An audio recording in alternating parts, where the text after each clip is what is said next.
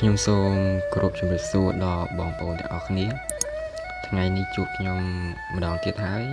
ហើយថ្ងៃនេះខ្ញុំមានពាក្យមួយដែលលើកមកសិក្សាស្វែងយល់ទាំងអស់គ្នាជាមួយនឹងបងប្អូនពាក្យនោះមានបងប្អូនមួយចំនួនដែលបានសួរមកខ្ញុំថាគួរតែប្រើមួយណាត្រឹមត្រូវហើយពាក្យណាដែលមិនត្រឹមត្រូវពាក្យនោះគឺខេត ខេតគឺយើងអាចសរសេរបាន2ប៉ុន្តែបងប្អូនសួរថាសរសេរបែបណាត្រឹមត្រូវជាងបើតាមក៏គំនិតរបស់ខ្ញុំគឺខេតវាមាន2ហ្នឹងគឺ ខទី1ខដាក់ស្អែតជាងរទី2ខដាក់ស្អេតជាងតពីរហ្នឹងគឺមានលក្ខណៈស្តៀងគ្នា ការអានក៏ដូចគ្នាប៉ុន្តែការសរសេរគឺខុសគ្នា បើតាមគំនិតខ្ញុំគឺយើងគួរតែសរសេរបានទាំងពីរទាំងខេតខរស្អែតជាងរនិងខេតខដាក់ស្រៈអេតជាងតណាបងប្អូន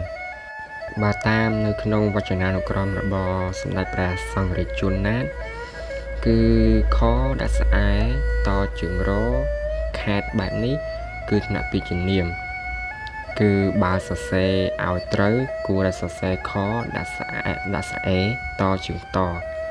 តាមរូបដើមក៏បាននឹងមានន័យថាយើងសរសេរខដាក់ស្អែតជាងរងក៏បានប៉ុន្តែចំណែកឯខេតខដាក់ស្អេតជាងតបតានៅក្នុងវចនានុក្រមគឺថ្នាក់ពាក្យជានាម ស្រែចំការតំបន់នាទី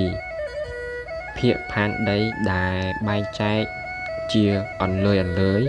មាន ប្រជុំស្រុកច្រើន ដូចជារដ្ឋបាលខេត្តកណ្ដាលខេត្តកំពង់ចាមឡាក់អញ្ចឹងគេបាននិយាយទៀតថាបើប្រើតាមទម្លាប់ជាប់មកជាយូរមកហើយនោះគឺគេសរសេរសខដាក់ស្រែតជាងរត្រង់ចំណុចកន្លែងនឹងហើយដែលបងប្អូនពិបាកនឹងការជ្រើសរើសសរសេរថាតើពាក្យណាដែលត្រឹមត្រូវប៉ុន្តែ ពាក្យទាំងពីរគឺត្រឹមត្រូវទាំងពីរបងប្អូនបងប្អូនសរសេរបែបណាក៏បាន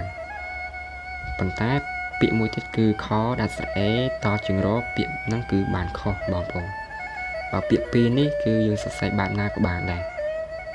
ខ្ញុំមានតែប៉ុណ្្នេះទេសម្រាប់ចែកជូនដល់បងប្អូនជាចំណេះដឹងជាចុងក្រោយខ្ញុំសូមខន្តីនៅអភ័យទោសរាល់ការបញ្ចេញពាក្យពេចន៍ណាដែលខុសឆ្គងចំពោះបងប្អូនទាំងអស់គ្នា សូមអធិស្ឋានដល់រូបខ្ញុំផងពីព្រោះខ្ញុំមិនមែនជាគ្រូអក្សរសាស្ត្រអ្វីនោះទេ បាទសូមជម្រាបលានិងសូមអរ